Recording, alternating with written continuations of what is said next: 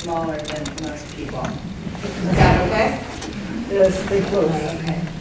John O'Hara was a newspaperman before he turned to fiction, and the seeming ease with which he wrote his stories and novels must have come at that, from that facility given to reporters who write against a deadline.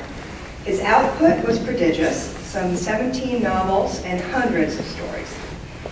He was a writer who made it his business to know things, and he liked to tell you what he knew. Following is an edited version of John O'Hara's Bread Alone, written in 1939. Mr. Hart was a car washer, and what colored help at the LB garage got paid was not much. It had to house, feed, and clothe all the Harts. The day before, Mr. Ginsburg, the bookkeeper who ran the shop pool, had come to him and said, well, Willie, you win the sawbuck. What are you going to do with all that dough? I'll bet you don't tell your wife about it. Well, I don't know, Mr. Ginsburg. She don't know the scores, so she don't know I'd win. I don't know what to do, said Mr. Hart. On the way home, Mr. Hart was a troubled man. That money belonged in the sugar bowl, but a man was entitled to a little pleasure in this life. Mr. Hart had not been to a ball game since about 15 or 20 years ago.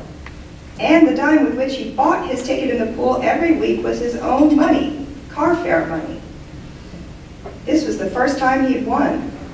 Then there was the other matter of who won it for him, the Yankees. He had had the Yankees in the pool the first time all season the Yanks made the runs that made him the winner of the $10. By the time he got home, his mind was made up. He had the next afternoon off, and by God, he was going to see the Yankees play.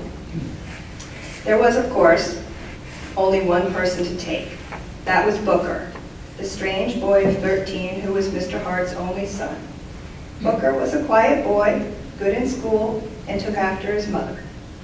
So that night after supper, he simply announced, tomorrow, me and Booker's going over to see the New York Yankees play. A friend of mine happened to give me a choice pair of tickets, so me and Booker's taking in the game. Lolly believed right away that someone had really given Mr. Hart the tickets to the game. He had handed over his pay as usual, nothing missing, and that made her believe his story. DiMaggio came to bat. Ball one. Strike one called. Ball two. Mr. Hart wasn't watching with his heart in it. He had his eyes on DiMaggio, but it was the crack of the bat that made Mr. Hart realize that DiMaggio had taken a poke at one and the ball was in the air. Everybody around Mr. Hart stood up and tried to watch the ball. The ball hung in the air and then began to drop. Mr. Hart was judging it, and he could tell it was going to drop about four rows behind him. Then it did hit the seats four rows behind the Harts, bounced high but sort of crooked, and dropped again to the road directly behind Mr. Hart and Booker. There was a scramble of men and kids, men hitting kids, and kids darting and shoving men out of the way, trying to get to the ball. Mr. Hart drew away, not wanting any trouble, and then he remembered Booker. He turned to look at Booker, and Booker was sitting hunched up, holding his arms so to protect his head and face. Where the hell's the ball? Where's the ball? Men and kids were yelling and cursing, pushing and kicking each other, but nobody could find the ball. In two minutes, the Yanks retired the side and the ball game was over.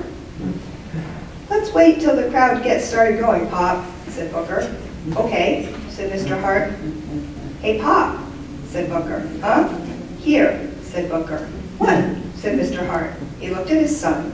His son reached inside his shirt, looked back of him, and then from inside of the shirt he brought out the ball. Present for you, said Booker. Mr. Hart looked down at it. Let me see that, he said. He did not reach for it. Booker handed it to him. Go ahead, take it. It's a present for you, said Booker. Suddenly, Mr. Hart threw back his head and laughed. I'll be. You got the ball? Sure, it's for you, said Booker. I'll be damned. Boy, some Booker. He put his arm around his son's shoulders and hugged him. Boy, some Booker, huh? You're giving it to me. Some Booker.